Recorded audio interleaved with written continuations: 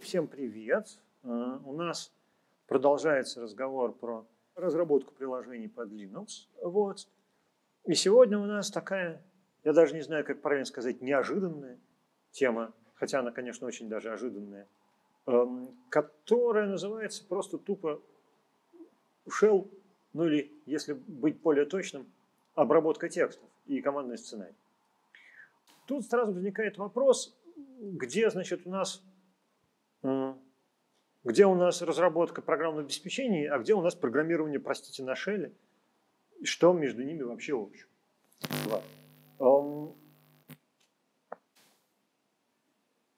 Ну, ответ очень простой. Все, что мы писали в make-файлах, э, вообще все, что мы писали в make-файлах, интерпретируется именно шеллом и только им. Понятное дело, что в make-файлах могут лежать очень простые команды для запуска, настолько простые, что они будут работать даже не под э, операционными системами, в которых есть shell. Да? Ну, то есть запуск компилятора или какое-нибудь перенаправление вывода, оно работает во всех операционных системах. Но в действительности вы можете увидеть, что очень часто э, при сборке проектов, особенно проектов не, не мега, не гигантских, а таких вот, что ли, которых, которыми занимается сообщество, очень часто помимо, собственно, самой процедуры сборки, системы сборки, которую вы используете, э, в них используются эм, какие-то программы, какие-то сценарии на каком-то языке программирования, которые реализуют дополнительную логику, невозможную, вот, невыполнимую в виде одной команды в makefile.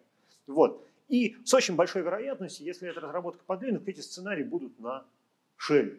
А когда-то, кстати, они были, в общем, ча- часто очень на перле. Но Перл как-то стремительно потерял популярность по совершенно непонятной причине. Так что вот на Шелле такие вещи пишутся. Поэтому мы потратим одну лекцию на то, чтобы немножко въехать в программирование именно на Шелле. Хотя общая установка должна быть немножко не такая, просто нам времени не хватит. Мы напоминаем, что у нас вообще наши встречи проходят под э, лозунгом «впихнуть невпихуемое». Так вот, значит, э, э, вообще-то общая установка не совсем такая. Вот в 2020 что ли, году э, я для совершенно другого курса, который назывался «Парадигма программирования», прочитал, и есть видео, соответственно, еще у нас на сайте, я прочитал лекцию, которая называлась «Скриптовые языки обработка текстов», и там как раз был подведен база под фразу. Да? Идея состояла в том, в том, что скриптовые языки, языки склейки, и командные сценарии. И это, в общем, довольно естественно произрастающее из реальной задачи там, того же разработчика, такие языки, такие концепции, э, которые сводятся к простому утверждению. Мы, когда что-то делаем в командной строке, используем какие-то команды. Эти команды, если мы часто работаем с командной строки, запускаем компилятор, редактируем, что-то преобразовываем, компоновщик, ну вот это вот все – они становятся нам понятны и привычны. И было бы удобно иметь такой язык программирования, который позволял бы из таких команд составить сценарий, чтобы не писать 10 раз одно и то же. Вот. Эм, это все еще умеет Make. Да? Мы в Make можем взять и несколько команд последовательно изложить. Но было бы неплохо также, чтобы этот язык был э, актуально алгоритмически полностью. Там были циклы, переменные, вот это вот все. Кроме того, поскольку это язык, рассчитанный на запуск других утилит, и работа с их утилит, вводом-выводом, было бы очень хорошо, чтобы в этом языке было удобно реализована суперпозиция команд, подстановка результатов одной команды в э, входные параметры другой. Вот. Ну, чтобы не надо было писать целую там несколько, несколько строчек на каком-то языке программирования, подготовить окружение процесса, запустить процесс, посмотреть результат, преобразовать результат, передать этот результат на вход другому. Ну, вот это вот все должно быть очень быстро. Вот. Кроме того, э, язык склейки или язык сценариев обычно отвечает такому паттерну поведения админское программирование. Типа напиши и выбрать. То есть чем меньше ты написал строчек, тем проще это монтейнить. Вот, там трех, пяти, десяти строчники понятны безо всяких комментариев, потому что и так понятно, что у них написано. Вот. А больше не надо. Да? Значит, когда мы основная наша задача – это разработка, то какие-то промежуточные преобразования из одного формата в другой или что-то такое, как правило, выглядит, требует очень небольших усилий вот, вот на этом самом языке. Значит, что такое, что такое язык программирования Shell? Вот. Тут я, как это, поддамся приступу приступу этого мания величия и скажу, что можно почитать главу из учебника, который мы с Кириллом Маслинским написали в далеком 2004 году, вот, где э, русским языком написано немножко про Шелл, про все, что он умеет. Вот. Следует традиции э, не впихивать совсем уж невпихуемые в одну лекцию. Скажу опять же коротко, а упомяну только какие-то какие важные вещи, которые мы с вами так или иначе окажутся в домашнем задании. Вообще они именно с точки зрения программи... Э, э, разработчика приложений для Linux, а не с точки зрения там, программиста на Shell, бывает нужны. Значит, у Shell три ипостаси. Shell – это интерпретатор командной строки, то есть э, то, то место, где вы вводите команды и выводите какие-то результаты. Вот.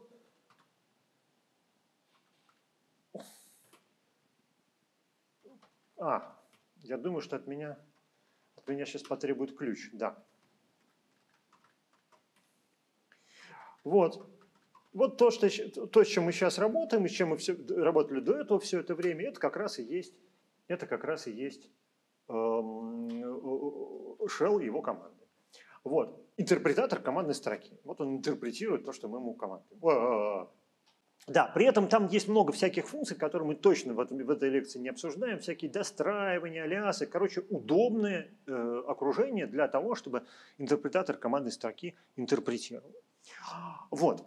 Вторая, э, э, э, вторая ипостась Shell – это язык программирования высокого уровня, вообще произвольный. На нем можно писать программы. Другое дело, что ну, программы на Shell, в общем-то, слишком большие писать не принято в силу вот, вот этих причин. Но тем не менее, он должен быть языком программирования высокого уровня, причем реально высокого, потому что объекты, с которым вы вообще-то манипулируете обычно, это даже не, э, там, ну, не числа, не, не строки, а файлы, файлы с их содержимым.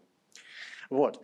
И э, третья вещь, и она имеет прямое отношение уже к нашему сегодняшнему разговору, поскольку всевозможные взаимодействия между э, компонентами, вот такой пользовательскими компонентами ну, того же Linux э, происходит в текстовом виде, как правило, вся работа на шеле крутится вокруг обработки текстов, текстов, файлов и процессов. Вот. А, домашнее задание будет на обработку текста, кстати. Ну вот. Э, что касается переменных, то в шеле все очень просто с переменными. Вот. Кстати, операция присваивания в шеле не должна разделяться пробелами. Так получилось. Все переменные в шеле текстовые, любые. Даже операция, э, которая вычисляет арифметику, она все равно работает. Сначала преобразует из текста в число, потом из числа в текст обратно. Для простоты это такое легаси из э, сильно прошлого тысячелетия. Для простоты подстановка значения обозначается специальной операцией разыменования, в шеле это доллар. Вот. И эта подстановка может быть с некоторыми модификаторами. Вот. Ну, допустим, вот такая часть отрезает вот. вот такая часть отрезает от начала самую длинную последовательность, которая завершается, звезд, завершается слышом. При этом звездочка – это не как в регулярных выражениях звездочка, которая повторитель, а звездочка – самостоятельный символ, означающий, означающий ноль и более символов. Да? Вот в этом случае, например, мы ничего не отрезали, потому что надо было отрезать что-то, что начинается на слэш, а в начале такого нет. Вот. Это, значит, соответственно, такой вариант отрезает самую короткую такую последовательность, Дальше вариант с процентами отрезает от, от конца, а не от начала. Вот. Ну и с двумя процентами самый длинный последовательность от начала. Такая подстановка. Вот. То есть есть переменные, есть подстановка, есть операция присваивания, есть там, не знаю, А равняется операция склеивания, которая всего лишь означает, э, что вот эта строка будет записаны в переменную А. Ну, в общем, все вполне обычно. Командами языка программирования под названием shell являются, во-первых, десяток, другой, третий встроенных в сам shell команд, а во-вторых, все остальные э, программы, доступные в вашем сеансе командной строки работы, сеансе работы командной строки. То есть э, командами shell являются не только операторы языка программирования shell, но и все бинарники, которые у вас есть в системе. Вот. Они подчиняются примерно одинаковым правилам э, работы с ними, поэтому, когда какой-нибудь новичок пишет, э, а расскажите, пожалуйста, покажите, вот, где можно посмотреть весь список команд командной строки, вот, э, принято над этим, ну, не то чтобы издеваться, но подтрунивать, да, потому что, ну, вот, можно сделать вот так вот, да, это список всех команд командной строки. Вот, их там вообще-то, ну вот в данном конкретном эм, дистрибутиве, в данной конкретной установке, в нашей виртуалочке с практикум их 1100 штук. Но это не все, потому что есть еще слэш bin, слэш sbin и еще слэш usr sbin. И это тоже не все, но, по крайней мере, большинство из них лежат там, и там уже их полторы тысячи. Да? Но понятно, если вы ставите какой-то пакет, в этом пакете есть бинарник, этот бинарник тоже можно использовать в командной строке совершенно легко, он, собственно, есть такая команда. Вот. Смотрите, вот это ls, да, это, с одной стороны, явно команда командной строки, которая что-то делает. А с другой стороны, это такой бинарник, лежит он вот здесь. Ну, даже не так. Ну, это алиас, хорошо.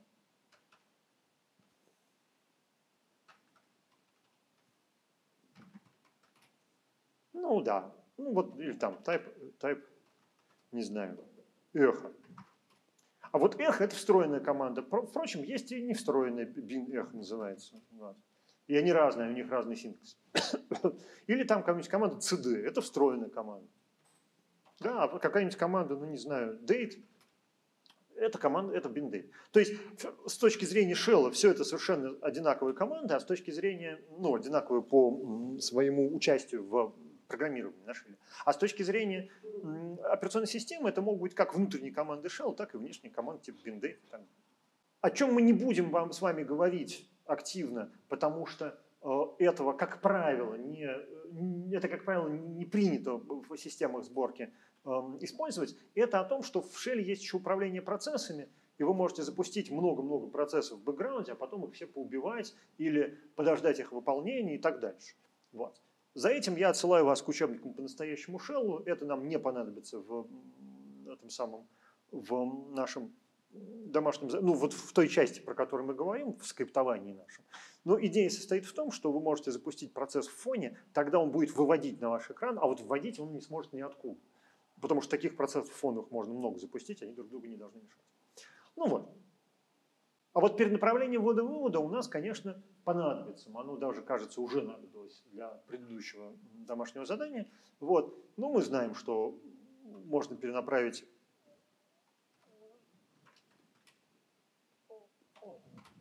ну, не знаю, ну, хорошо, так-то, вот.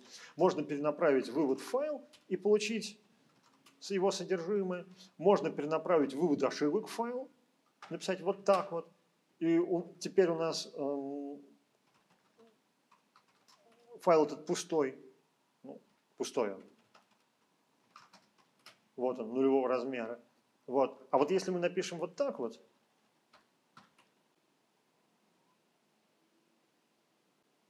А, это shell сделал, да?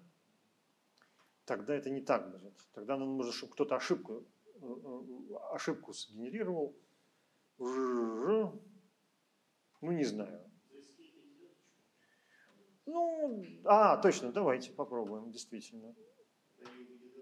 Да, да, вот. Вот, вот, вот. Спасибо. Значит, вот ситуация, когда мы стандартный поток ввода, перенап... вывода перенап... не перенаправляли, а перенаправили только стандартный поток вывода ошибок, который, как мы помним из курса по СИ, имеет дескриптор 2, номер 2. Вот. Ну, так, для, для, до кучи у нас есть операции дописи в файл, вот, вот, вот, вот, вот что-то такого. Вот. У нас есть всякие хитрые штуки типа херестринга и всего вот этого. Сейчас давайте посмотрим, как это выглядит. Это хери-документ. Довольно забавная вещь. Вот смотрите, можем написать CAD. Э, CAD же у нас перенаправляется стандартный увод на стандартный вывод. Можно написать так. Больше, больше, Только надо во что? В файл О.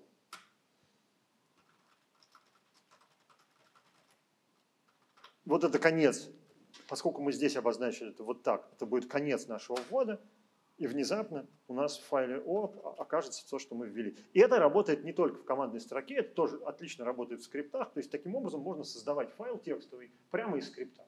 Да? Сказать cut файл меньше-меньше ограничитель конца ввода, и дальше вот такая штука. Что, кстати, намекает как бы нам, что shell язык, синтаксис языка программирования shell не является контекстно свободным. Потому что вот эта скобочка может быть любая. Перенаправление. Ну, разумеется, разумеется, великий могучий наш конвейер, да,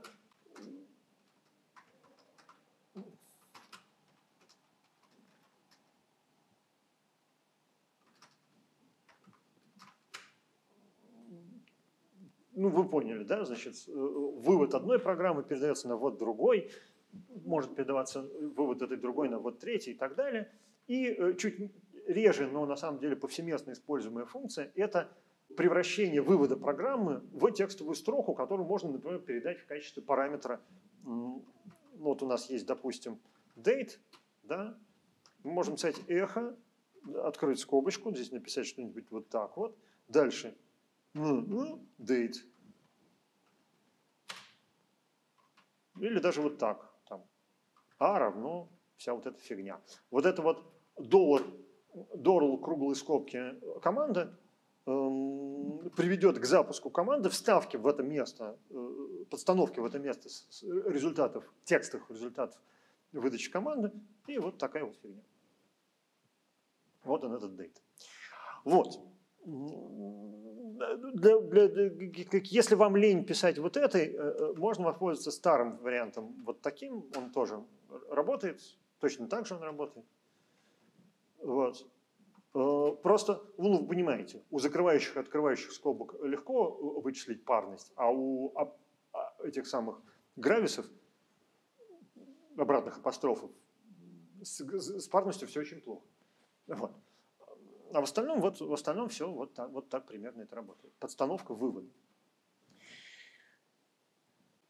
Еще одной фичей Шелла, как языка программирования, рассчитанного на э, вызов программ в качестве команд, является его отношение к э, условным операторам, операторам цикла. Значит, в шелле условием является не там какое-то там выражение логическое, а exit статус, то есть код завершения, последней выполненной, выполненной команды. Если последняя выполненная команда завершилась успешно, то есть у нее exit статус 0, это считается как бы истинным. А если не успешно, у нее exit статус, допустим, не 0, то это как бы ложь. Что, в общем, несколько, если об этом задуматься, несколько приводит нас в изумление, потому что 0, значит, это истина, а не 0 это ложь. Но э, если вдуматься в смысл, да, была какая-то ошибка, это ложь, и код ошибки нам вернули. Не было никакой ошибки, это истина, и код ошибки, то тогда становится все понятно. Выглядит это примерно так. If все тот же ls m.a, then, then, ну, допустим, эхо yes, else, эхо, no, фи. Фи – это операторная скобочка, которая закрывает if. If, else, фи. Ну, так вышло. Так вышло, что фи. Вот. А, обратите внимание, что команда ls сработала, вывела на стандартный вывод ошибок свою диагностику, вывела exit статус э, не ноль, можно его, кстати, проверить, какой он. Exit статус 2. Вот, можно почитать, что это означает там нет, нет файла, но, но, но, но such файла директоре. Вот. И вот так это все сработало. При этом, если, например, если, например, мы покажем в эту, в эту конструкцию вставим существующий файл, то опять-таки команда ls сработает. Вот она. Давайте мы для определенности напишем минус L, чтобы было видно, что она сработала. О, команда ls сработала. Exit статус был 0, верьте мне. И поскольку exit статус был 0, это как бы истина, сработала клауза then, а не клауза else. Вот так устроены условные операторы в shell. Как видите, это удобная штука для того, чтобы прям проверять, вот у тебя закончилась команда с успехом или не закончилась. Вот, значит, условные операторы. То же самое относится к операторам цикла. Можно написать while, скажем, read, read a, b, c, do, ну, скажем, print, не print, эхо, эхо, эхо, доллар А, доллар Б, доллар С. Давайте С, доллар Б, доллар А. И еще их вот так вот сделаем, чтобы было интереснее. Дан. Видимо, когда люди значит, сделали if фи, они сначала подумали, что цикл while тоже должен заканчиваться каким-то потом попытались написать это слово, потом попытались его произнести вслух и решили, что нет, пускай будет да. Вот. Ну вот, значит, смотрите, как это выглядит. Обратите внимание на то, что эм, входные... Вот, кстати, оператор ввода. Да? Оператор ввода вводит строку, разбивает ее на, внимание, слова, и эти слова раскидывают первое слово в первую переменную, второе во вторую, а остальные в третью. Вот. Причем разбитие, разбиение на слова происходит по э, последовательностям разделителя, вот смотрите, я их тут понаставляю, эти разделители. Вот. А здесь вот, кстати, тоже вставлю. Вот, давайте смотреть. Значит, А, вот оно, Б, вот оно, С, все остальное, причем в это все остальное влезла также вот эта вот табуляция, которая туда. Ну, в общем, вот. Давайте ради интереса перенаправим календарь. Жух. А вот. Кстати, о чем будет, если я введу вот так вот? А, пустые строчки вводятся. Очень хорошо. Почему, почему цикл while вообще закончился? Потому что операция read, ну давайте сейчас, а, давайте просто так сделаем, read, а, эхо, результат, доллар вопросительный знак, это результат выполнения последней операции. Ноль. Операция read, что бы мы ни ввели, всегда заканчивается э, с exit статусом 0, если только вместо ввода мы не показали ему конец файла. О, вот я сейчас нажал Ctrl-D, вот в этот момент нажимаю Ctrl-D. Пожалуйста, read э, возвращает exit статус 1. И это значит, что while в этом месте закончится, потому что вот этот read вернет exit статус 1, но это false, и вперед. И это значит, что касаемо, что касаемо условных операторов и циклов. Вот. А, довольно забавно в этом смысле выглядят операции сравнения вот этого всего. Вы можете написать if, ну скажем, a равняется 10. If, скобочка квадратная, доллар a Эм, ну, скажем, равно, ну, скажем, 10, скобочка закрывается, then, эхо, куку, else, эхо, кукурику. Фи. Это эхо было. Что? Что я сделал неправильно? А. О, да? Значит, если при этом А равняется, допустим, сделать не 10, а 11, то, или там, вот, то, естественно, эта операция сработает по-другому. Так вот, обратите внимание, что на самом деле от принципа вот здесь стоит команда, как это было вот, как это было вот тут, мы на самом деле не отвлекаемся, потому что, знаете что? Ну, помимо того, что это команда shell, есть такая программа, она называется USR bin квадратная скобочка. И эта программа возвращает, догадайтесь, что она умеет интерпретировать операции сравнения и некоторые другие. У нее последним параметром обязательно должна быть закрывающая квадратная скобочка просто для красоты. Вот, мне кажется, что вот так не будет, ну, вот так будет работать. 1 равно 1. Пожалуйста, а вот так не будет работать. Вот. Эм, но эта программа под названием квадратная скобка, которая раз, два, три, четыре параметра просто ей переданы.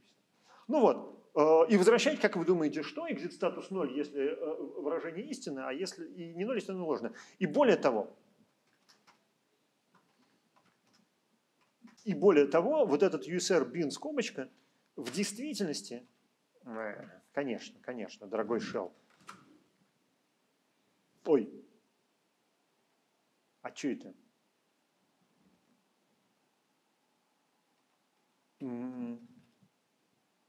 А они разные? Ой, как интересно. Когда-то это был симлинк на тест. Ой, как интересно. Очень странно. Когда-то, во времена моей молодости, USR-bin, квадратная скобка, USR-bin тест были одной и той же программой, просто симлинком друг на друга. Она просто понимала, что ее вызвали как эм, под названием скобка или под названием тест. Я не знаю, почему они у нас разъехались. Но это не, не так интересно. Короче, есть еще тест, который делает все то же самое. Вот давайте вот здесь вот if, да, тест. Только ему не нужна квадратная скобка закрывающая. Ну, пожалуйста. Вот. Здесь уже более понятно, что это результат выполнения э, э, команды тест. Да? А здесь больше похоже на условный оператор. Ну, согласитесь, похоже на условный оператор. Вот. А, относительно э, точки с запятой, они не нужны, если вместо них использовать переводы строки, а если не использовать, то они нужны. Ну, что еще? Ну, есть оператор case, да, доллар $a, in, ну, скажем, 10 эхо. Почему ты красный? Непонятно. Т. Э, один звездочка. Эхо. Мо. Просто звездочка.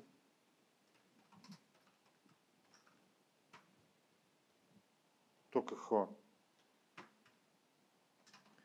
Как вы думаете, как выглядит закрывающий операторная скобочка оператор кейс? Язык. 20. А равняется раз, два, три.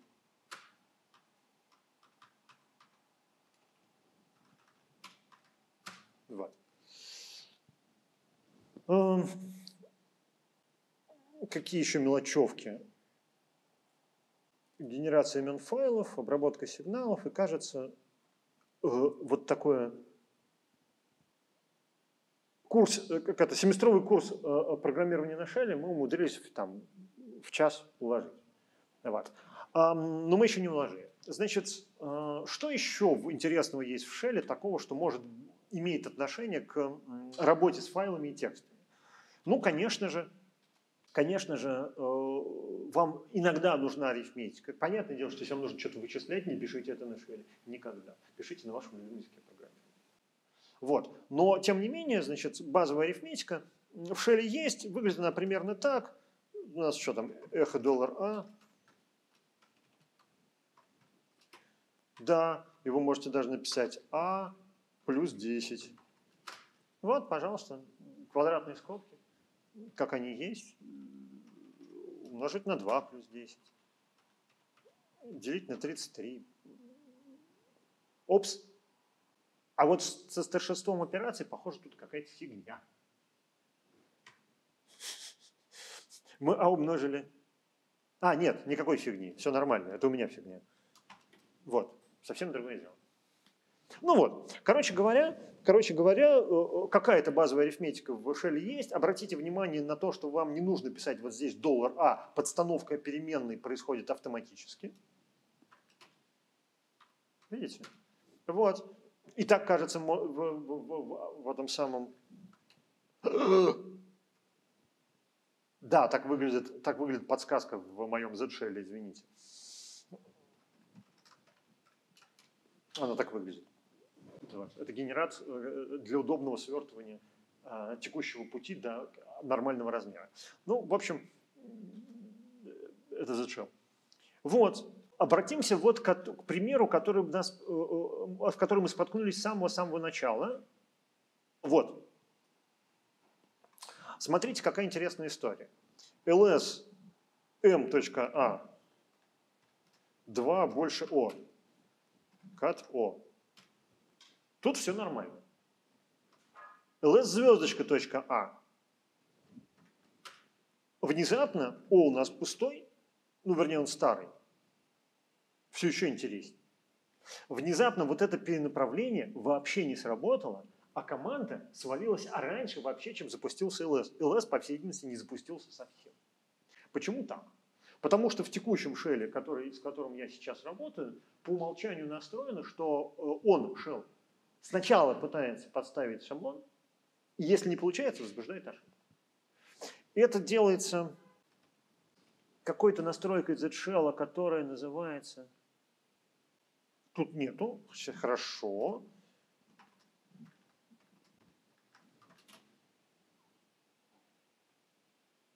Значит, не глоб.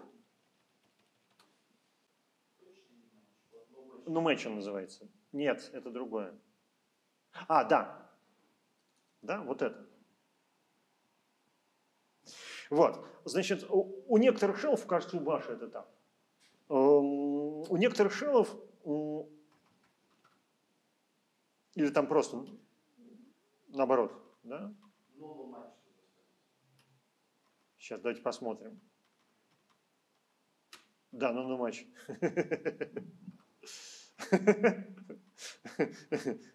О! Вот. У некоторых шелов это поведение немножко модифицировано. Оно выглядит так, что если внезапно а, вот, этот, а, вот этот набор, вот этот шаблон не раскрылся в набор файлов, то он просто не изменяется, и как имя передается. Мне оно кажется неудобным, потому что от того, есть ли у нас такие файлы или нет, зависит поведение шелла. То оно раскроет шаблон, то не раскроет. Вот. Поэтому я обычно все-таки numatch включаю. Вот.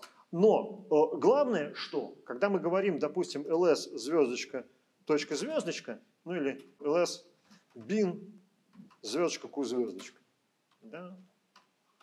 вот так вот говорим, то на самом деле, на самом деле э, утилита ls видит не вот это, утилита ls видит вот это. То есть э, генерация имен файлов, подстановка вместо шаблона – набора файлов в нужном месте, делает shell в момент, э, когда он встречает вот этот, вот этот шаблон. Вот. Утилите ls незачем обрабатывать шаблоны, она видит вот это. Ну, вот, да. Например, эхо. Очевидно, что утилита эхо не обязан делать раскрытие каких-то звездочек, какие-то штуки. Вот. И если мы ей передадим эти звездочки, она их будет как звездочки. А это делает шум. Все, мне кажется, надо... А, еще обработка сигналов. Значит, обработка сигналов, там интересная такая тема, мы ее чуть позже посмотрим. Вот. Э, теперь, значит, что может встретиться еще при работе с э, такого шельного э, в процедурах сборки? Разумеется, утилита работы с файлами. Ну, все вот эти CPM и VLS, вот то, что у нас было на, на, на втором курсе в осях, все это тоже здесь. Вот. Утилита find, которая такая старая, что у нее формат опций еще на минус не начинается. Вот. Там, то есть у нее есть и, и, и, и, и эти, и минусы тоже, и не минусы. Find, ну, допустим, минус type, просто find rpm нам покажет все файловые объекты в подкаталоге PM. Минус, минус type а нет, у нее как раз э, опции начинаются на минус, но они начинаются не на 2 минуса, а на 1. Вот. А это только файлы. Эм, минус name. А это только файлы, у которых в этом самом в имени встречается буква U. Да? А еще можно сказать минус ls, по-моему. И тогда он выдаст от них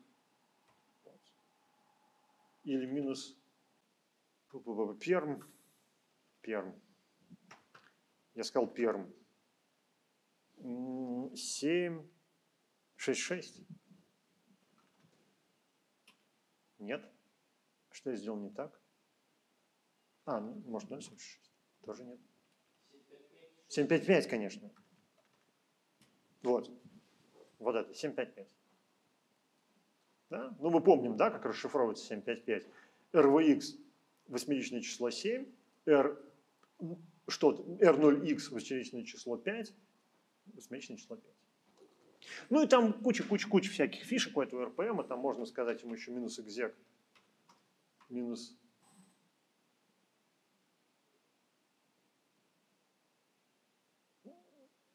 минус, нет, минус экзек, ну не знаю.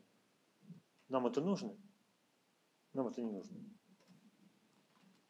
Вот. Причем вот эта фигня означает э, удалить вот тот файл, который мы, ну, использовать в этом месте тот файл, который мы нашли, а вот э, э, точка с запятой означает, что там должна быть в конце точка с запятой, только точка с запятой в шеле является разделителем, поэтому ее нужно вот так сделать. Все, файл тут удалился. Нету больше XT. Вот. Утилита XArgs. Утилита XArgs нужна для массовой обработки. Э, э, она тоже довольно прихотливая, нужна для массовой обработки каких-то текстов. Ну, например, ну, все тот же find, отличный find. Да. XArgs, эхо, куку. XArgs, я сказал.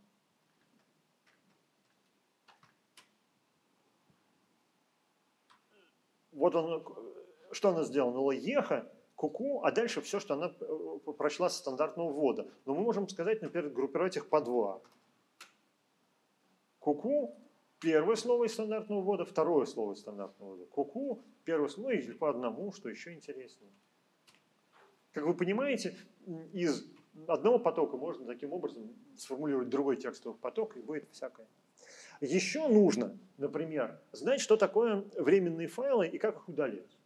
Потому что, когда вы делаете генераты, если это не Make делает, а вы сами, потом эти генераты надо как-то удалять. Вот. Утилита mktemp создает временный файл в довольно произвольном месте. Вот. И выводит его результат. Кстати, он, наверное, есть. Да, его теперь надо удалить. Вот. Соответственно, э, нормальная практика использования утилиты МКТ э, выглядит примерно так. Вы заводите переменную, подставляете результат выдачи утилиты МКТМ в качестве, э, ну, вот сюда, вот, потом пишите вот этот TMP файл, что хотите,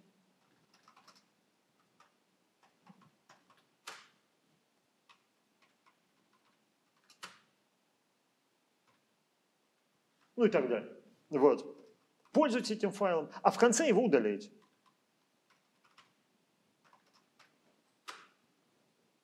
Вот. Минус F означает удалять в любом случае, если это вообще только возможно, и вы имеете на это право. Вот здесь вот кусок кода, который я не буду, с вашего позволения, наверное, воспроизводить, потому что это прям уже целая программа на шее. Но давайте в него просто поглядим. Значит, в этом куске кода используется вот эта самая обработка сигналов. Используется она следующим образом. Есть утилита trap, это не утилита, это, прошу прощения, команда shell, которая, да, в shell есть задание функции. Вот эта функция, ее можно вызвать. Ну, давайте, у нас есть время, давайте я про функции расскажу. Функция в shell выглядит так. Функт. Все. Дальше вы пишете тело функции, в котором теле функции, вы можете ссылаться на позиционный параметр этой функции просто по номеру. Эхо, ну скажем, доллар 1 плюс доллар 2. Ну хорошо, не плюс. Date. Ну, функт. Параметры при вызове функции передаются так же, как программе. Функция в этом смысле ничем не отличается от команд, утилит и так далее. Ну, то есть отличается, но не существенно.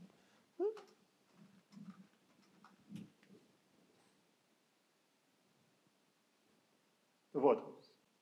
Обратите внимание на то, что позиционные параметры функции нумеруются 1, 1, 2 и 3. На самом деле, если вы пишете сценарий на шейле, то позиционный параметр 1, 2 и 3 нумеруют э, позиционные параметры сценария. То есть в этом смысле, э, смотрите, э, сейчас.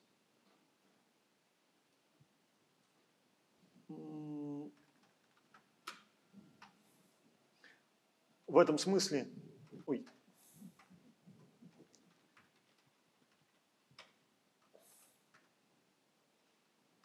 Давайте мы еще вот так вот сделаем. Что это такое? А, это русские буквы.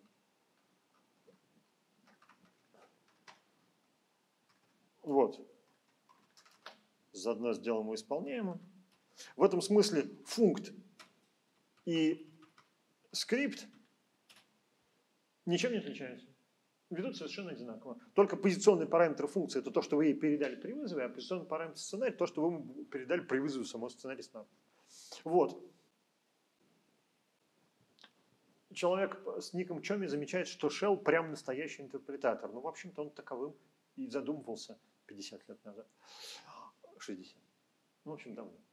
А, значит, обратите также внимание вот на эту фишку. Она тоже, скорее всего, не понадобится вам, если вы не задумаете писать сценарии как сценарии, вот на эту фишку. И эта фишка – это такая штука, вы указываете, каким интерпретатором выполнять вот этот текст. Вы можете, в принципе, написать свой собственный язык программирования, указать путь до бинарника после вот этой, после вот этой штуки шибанг, комментарий, восклицательный знак – и этим бинарником будет выполняться вот этот сценарий. Я на автомате так делаю просто потому, что, потому что привык. Вот. Ну, правда, сейчас, сейчас давайте подумаем, кто у нас умеет выполнять сценарий, не, не являющийся сед какой-нибудь, да? Смотрите.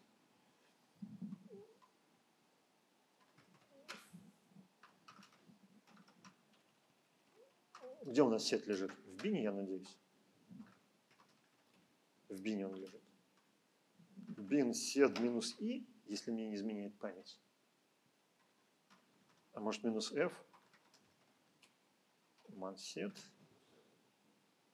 Минус f скрипт файл, минус f. Минус f.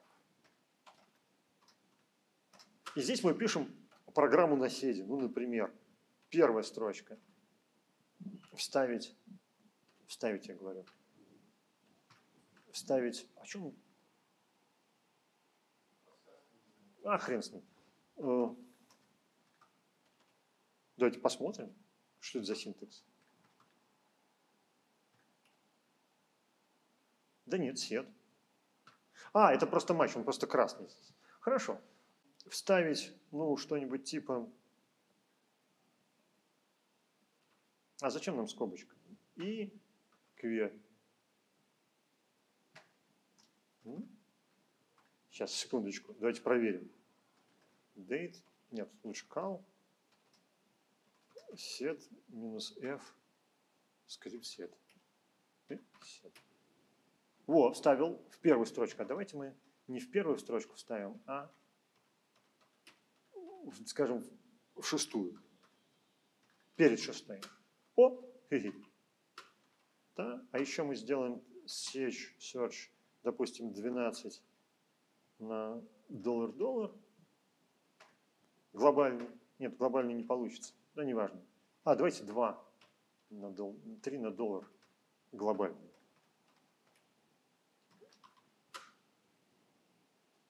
Ну вот. Да? Ну и так дальше. А теперь давайте сделаем интересное. Сделаем этот файл исполняемым.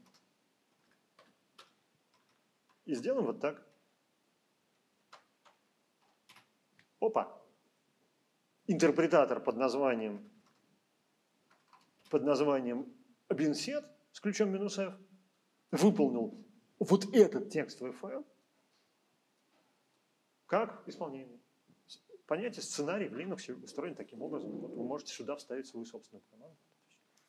Вот. Про сет я не зря вспомнил, вот этот, вот, вот этот птичий язык потому что мы про него будем еще его трогать. Но вернемся к, вернемся к обработке исключений. Итак, сигналы, который вы можете посылать с клавиатуры или который может ловить ваш процесс. процесс. Можно обрабатывать в шелле прямо и говорить, при получении сигнала hang-up, interrupt, quit, pipe, terminate, а также при выходе из программы, выполнять вот этот хангер. Во всех случаях, когда вы получаете либо один из этих сигналов и до кучи выходите из программы, такого сигнала нет, э, будет выполняться вот этот код. В этом коде написано, первое, поскольку нам нужно не, не, в, не вкатиться в бесконечный цикл, представьте себе, что вы что-то сделали с вашей системой такое, с вашим окружением, что она на все э, генерирует, ну скажем, сигинт. Вообще на все. При попытке обработать сингент она генерирует сингент. Вот чтобы этого не было, вы говорите так, отменяем все обработчики сигналов, оставляем только обработчик сигнала exit, который происходит при выходе.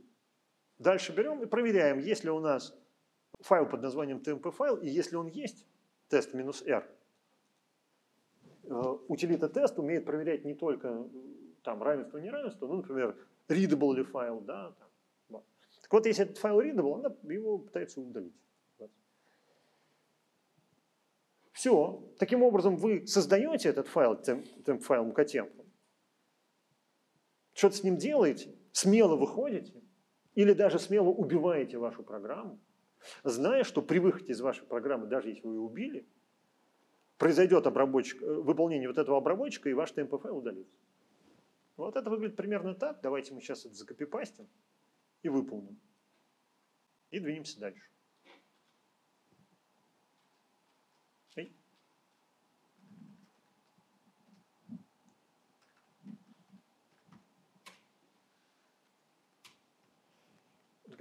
Простой способ написать программу, не редактируя ее. Да?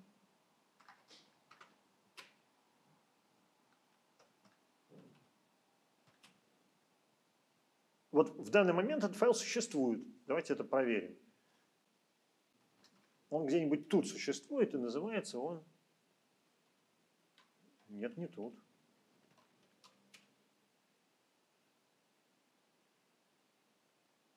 В МВАРе ДНД. Это очень интересно. А я не понял. А, это не на той машине. Да много тут всякого мусора не стерт.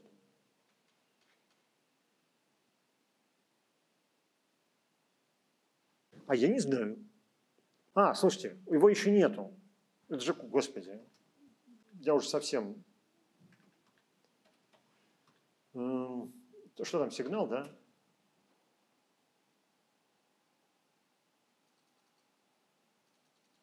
А где wait? Вот wait.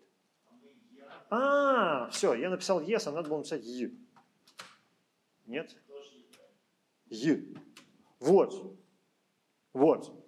Значит, этот файл по умолчанию был создан в каталоге, кажется, сейчас скажу, каком, э, TempDir или TempDir. Сейчас давайте.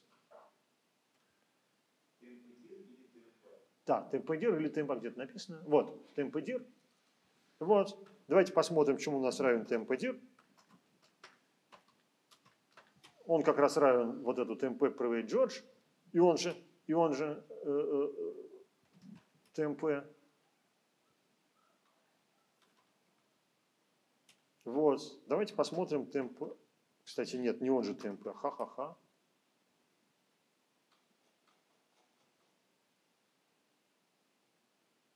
Сейчас, секунду. Думаю. Это, кажется, не он. Правильно он будет такой tmp.private Жорж, tmp, вот. Вот, вот он этот файл. Все, теперь все на месте. Вот этот файл, который мы создали. Да, точно, вот он. Вот он существует. И теперь даже если я прерву эту программу, даже прислав ей сигнал, только не так. Ну, где-то тут. А как посмотреть, только свои, но... Э, ладно. А, минус U такое? Да, только надо...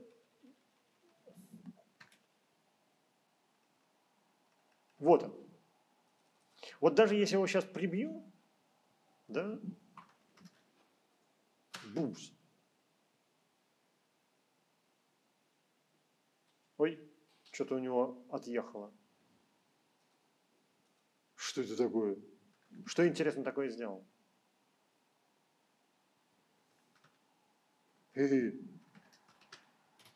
17. Рид. А, эта команда Рид так завершилась, когда мы ее прибили. Вот. Главное, что, главное, главное, что теперь, если мне не изменяет, э, то есть если мы вангование верны, этот файл удалился. Мы убили программу, но файл удалился, потому что мы обработали, обработали сигнал. Вот. И это к вопросу о том, как в шеле обрабатывается сигнал. Тут важное замечание нужно вставить, что э, событие exit э, поддерживается далеко не всяким бинши, который можно увидеть. Да ладно. То есть, э, если у нас вот, Dash кажется дебильным. Умеет, умеет, умеет. Визибокс какой-нибудь shell, там три штуки в комплекте, один из них... Не умеет, да. Но безебокский шелл это все-таки извращение. Когда вы пишете на безебокском шелле, вам нужно много иметь в виду, что он не умеет. Но, но, но все шеллы из базовых комплектов умеют это делать. Вот Dash умеет это делать. Вот конкретно, вот. Так что, так что вроде бы нет, вроде бы все, все нормально с этим. Так, но это еще не все. Это еще не все, нам осталось мало времени, а, а зря нам осталось мало времени, потому что на самом деле есть еще очень важный момент. Тут, правда, я напоминаю, что основным скиллом нашего курса является чтение документации. Потому что я не могу вам рассказать все за одну лекцию, я могу только потыкать пальцами в разные места. Вот. Значит, а, а, так вот, еще один важный момент – это утилита работы с текстами – которые, собственно, и будут эм, играть очень большую роль в нашем домашнем задании.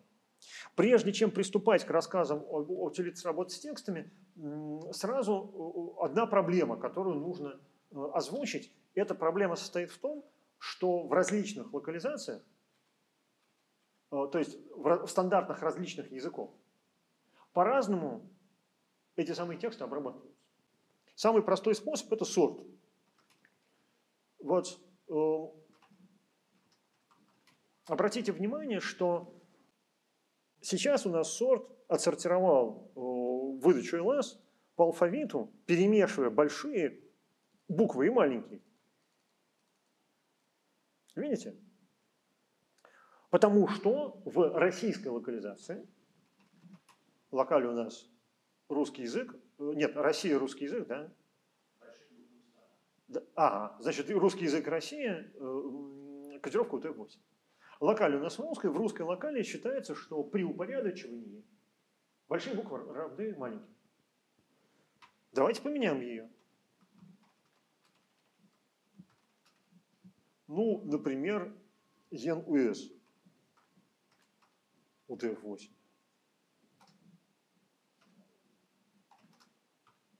Да, странный язык. Вслух я не берусь это прочитать. меняем локаль и тут же запустим сорт.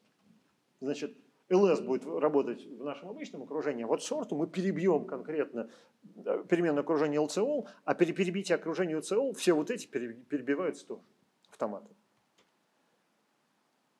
Не поменялось. А выжмем его. Давайте попробуем на C, да. Может быть в C по-другому, в C по-другому. А вот в C по-другому. Вот. Локаль C это что такое? Это однобайтовый локаль, дефолтная или никакая, я забыл. Ну, короче говоря, короче говоря, локали бывают разные. Вот, например, в локале C работает все не так. Вот. Более того, довольно много э, скриптов на шеле написано из соображений, что они запускаются в локале C. Вот. Мы это сегодня еще увидим. Но обратите внимание, что сообразно локали C большие буквы больше, чем маленькие. И вот у нас сначала большие буквы, а потом маленькие. Такие дела. Значит, Для того, чтобы такого не происходило, нужно, если вы делаете local aware чего-то, да, ну вот тут другие примеры, но мы уже убедились в том, что они такие. Вот. Я не буду рассказывать про все утилиты работы с текстом, потому что их сотни, реально, даже в обычном дистрибутиве, в базовой установке. Есть Core Utils, в котором их несколько десятков, и еще куча других. Вот. Э, из тех, которые, ну вот сорт мы с вами уже видели, какой-нибудь tailhead, это отковыривание начала-конца, наверное, наиболее такой продвинутой, такой странненькой является утилита join, которая занимается следующим. Она берет отсортированные списки, состоящие из слов, и объединяет эти списки по общим словам. Результат выдается. Сейчас давайте посмотрим, как это делается. Вот у нас есть, допустим, эм, выдача утилиты, выдача утилиты PS. Для простоты пускай выдает всего две, два поля. Слева процесс-идентификатор, справа тайм. И другая выдача утилиты, которая пускай выдает вместо тайма, выдает, ну скажем, краткое, э, краткое название команды запущенной. Вот у нас есть два файла со временем выполнения O1 и с командой. Ой, O2. Эм, предположительно, эти файлы почти одинаковые, за исключением того, что, собственно, сам процесс PS имел разный процесс ID. Ну вот, смотрите.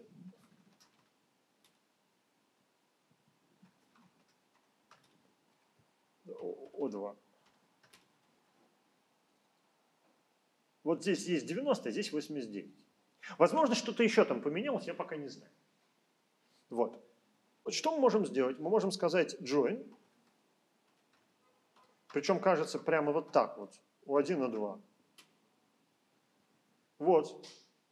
Э, и в этом джойне по первому полю, по умолчанию первому полю, объединяется вот первый файл и второй, вот, а вот этот PS не, не входит туда, потому что у них первое поле разное, у одного 80, у другого 90. Вот. Можно, э, по идее, если мы запустим какую-нибудь программу, которая жрет процессорное время, она тоже из этого момента... А, нет. Время только в одном файле. Время только в одном файле. То есть тут, тут, тут только процесс ID. Хорошо, давайте сделаем так. For while, while true do sleep sleep 1 done. Жмяк. Значит, что я сейчас сделал? Написал вечный цикл, который запускает утилиту sleep, который ждет одну секунду. Поставил амперсейник, чтобы она, эта, эта штука запускалась в фоне. Вот сейчас я вангую, что различие между O1 и O2 будет в двух местах.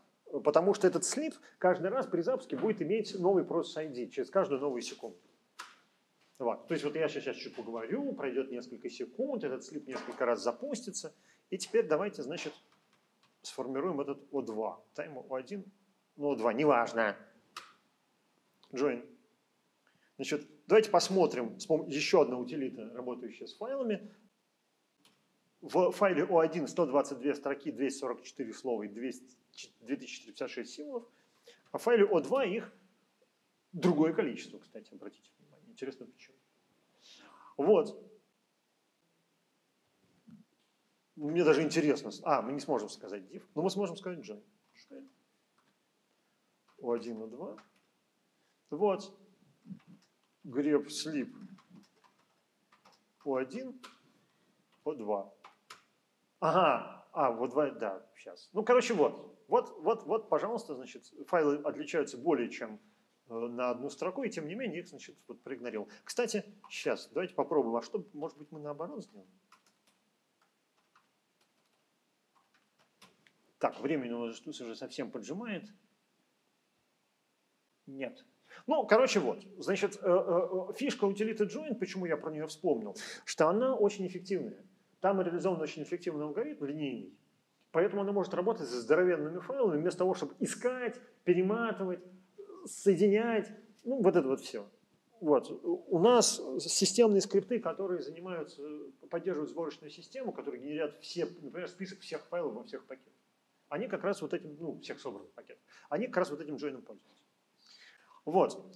Что еще? Еще есть всякие преобразования из текстового обратно, в, из бинарного обратно э, формата в, допустим, текстовый, типа, типа хексдамп, да, мой любимый хексдамп минус c. Да?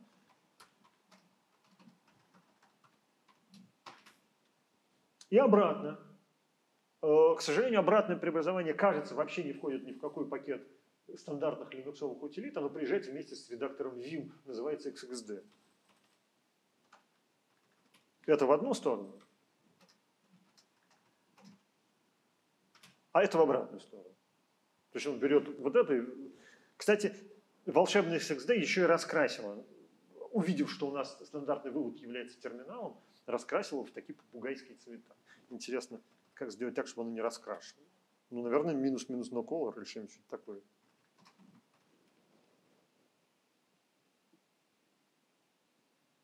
Не вижу тут слова color. Давайте проверим. О, минус R невер. Кстати, обратите внимание вот на такую конструкцию, она тоже особо не очень нужна. Эта конструкция перенаправляет и стандартный ввод, и стандартный вывод в один и тот же дескриптор, то есть на самом деле это вот такая конструкция. Два в первый дескриптор, и потом 20. Но поскольку так писать лень, а так писать быстрее, ну, короче, вот минус R невер Вот. Ну, прикольно, в общем. Ну вот.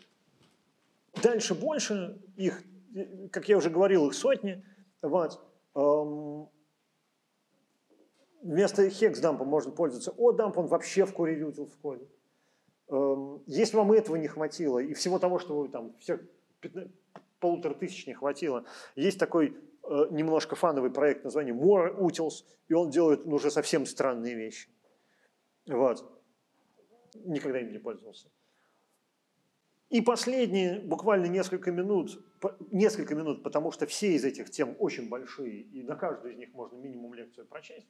Вот. Это уже более комбайновые инструменты. Ну, разумеется, греб, которым я пользуюсь, э, значит, на прополую и вот, да, греб – это, если вы не знаете, утилиты для поиска регулярного выражения в строке. И ее название, я всегда рассказываю про название утилиты греб. Значит, название утилиты греб выглядит так, происходит вот откуда. Ну, скажем, да, вот у нас есть такой, такой файл. Есть редактор ED. ED это текстовый редактор построчный. Перешли на первую строчку, распечатали первую строчку. Вторую, третью строчку. С первой по шестую распечатали. Понимаете, да? Вот у нас есть э, текст, и мы даем команды, вот это вот команды, которым мы управляем. Да. Г, global, поищем, ну, допустим, и распечатаем. Все строчки, в которых включается Тут, конечно же, не и, тут, конечно, регулярное выражение. Г, допустим, э, ну что там, и звездочка, точка звездочка П, П, принт. Вот видите? И,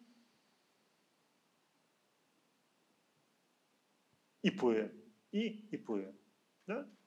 Но осталось только понять, что Г слэш регулярное выражение слэш П, и мы теперь понимаем, почему грек называется Г. Так, сюда еще выйти. Вот. Да, ну, в общем, в общем по всем, из этих, по всем указанным, по всем указанным инструментам надо прям читать учебник. Для седа есть прекрасный старый-старый-старый учебник по очень старому седу, но зато он именно учебник. Сейчас, кстати, найду. Кажется, он есть. Эм, а может быть, по седу и нет. Вот по ВК точно есть, по седу, кажется, и нет. А жалко. Вот, соврал.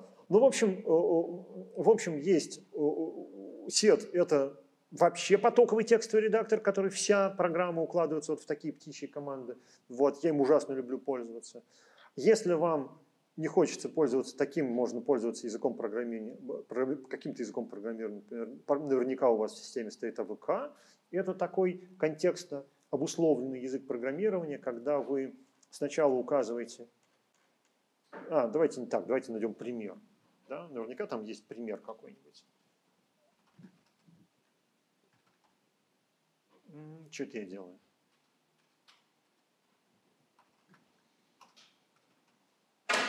Вот.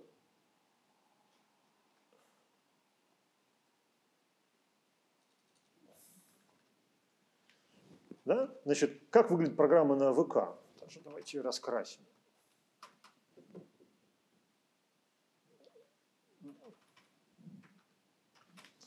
Как выглядит программа на ВК? Вот здесь указан контекст, а здесь в скобочках такой немножко сиподобный синтаксис того, что делать с этим контекстом. Контекст, что с ним делать? Контекст, что с ним делать? Вот. Эм, раньше еще был Perl, на котором такие вещи делались. Perl тоже вообще супермощный язык программирования, тоже контекстно обусловленный. Еще есть M4, по которому теперь я читаю последнюю лекцию в курсе парадигмы программирования. Это язык макроподстановок. И черт лысый. Обработка текста. Значит, я уже выжил, кажется, зашел на время, зашел за время этого самого выделенной на лекции, значит, домашнее задание. Попробуйте все вот это. И написать программу, которая делает следующее. Он принимает обязательно, она обязательно принимает обязательный параметр время задержки в секундах, читает со стандартного ввода небольшой ASCII файл, по умолчанию в кодировке ASCII, если вы не хотите заморачиваться. А потом выводит его в случайном порядке на экран. Выглядит это примерно вот так.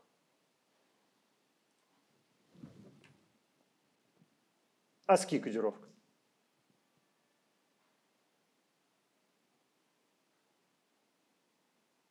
Все это нужно написать на шелле, не используя других языков программирования, но используя, разумеется, всевозможные утилиты. Вот. Если вам, ну, если вы войдете во вкус, а я как программист на шеле с, с прошлого тысячелетия, эм, во вкус, конечно, вошел, то я сначала написал вот такое, с учетом уже русских букв и эм, цвета, и рамочку нарисовал. Потом я это решение потерял, поэтому в эти выходные я увлекся и написал еще вот такое – но тут, правда, я сильно зачитил.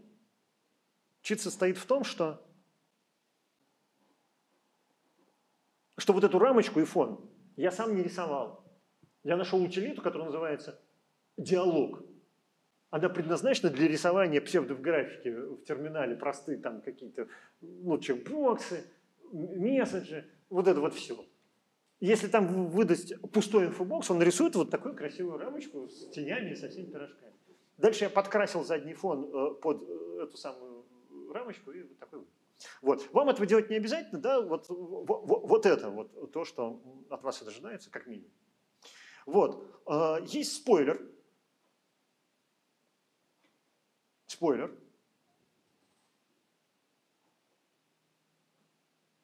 который открывается, как обычно для спойлеров, если нажать вот здесь на комментарий. Я его вам сейчас не покажу, значит, все, кто сдаются, смотрят на этот спойлер, там написано. Вот. Э, сразу скажу, что там спойлер описывает не вот эту программу, а вот эту программу, поэтому, возможно, вам будет больше сказано, чем вы хотите. Вот. Но идея состоит в том, что вы сначала с помощью вот чего-то вот этого преобразуете ваш входной файл последовательность нормальных, э, нормальных э, этих самых чисел, потом с помощью обычного цикла while, который мы с вами тут видели.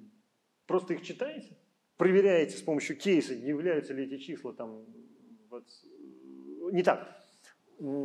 Я так сделал. Проверяйте с помощью кейса, не является ли переводом строки. Если перевод строки у вас координаты меняются, да, вот вы читаете по одному, увеличиваете x, потом э, нашли перевод строки, x сбрасываете в нолик, увеличиваете y.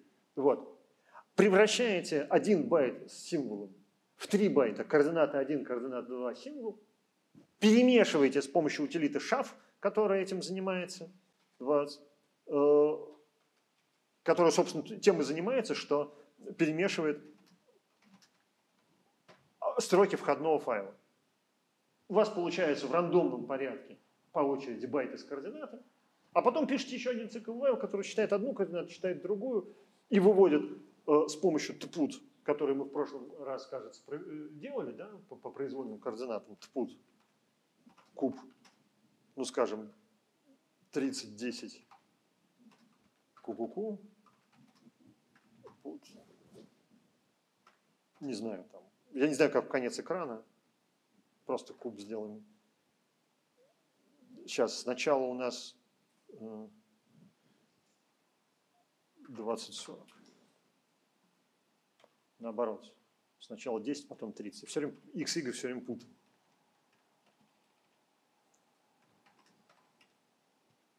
Че? Что я сделал не так?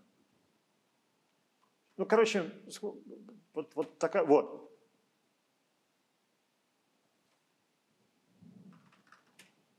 Что я сделал неправильно? Почему оно так себя странно везет? А, вот он. Да? А, все, я тупой.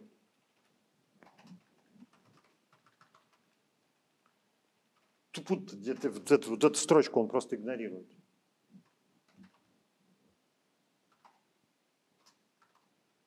Вот, курсор position. Ну вот, вот. И с помощью этого тупута вы выводите в ту самую координату, которую вы ему приписали. Да? Тем, тем самым каждый символ попадает в свое, на свое место. Вот. Это я так решал. Да, я еще выфильтровал пробел, потому что пробел выводить не Вот, короче говоря, э, э, все, время у нас вышло. Если есть вопросы, задавайте их, пожалуйста. Значит, это единственный пример такого адового программирования на шеле в нашем курсе, поэтому пострадайте немножко. Вот. Если нет вопросов, то Всем спасибо. В следующий раз мы возвращаемся к разработке. И у нас, а я, кстати, не знаю, что у нас в следующий раз. Давайте посмотрим, это быстро. У нас там есть вариантов... О, у нас отладка. В следующий раз мы занимаемся отладчиком. Вот. И это большая жирная тема. Все. На этом все. Значит, э, до следующих встреч. Спасибо.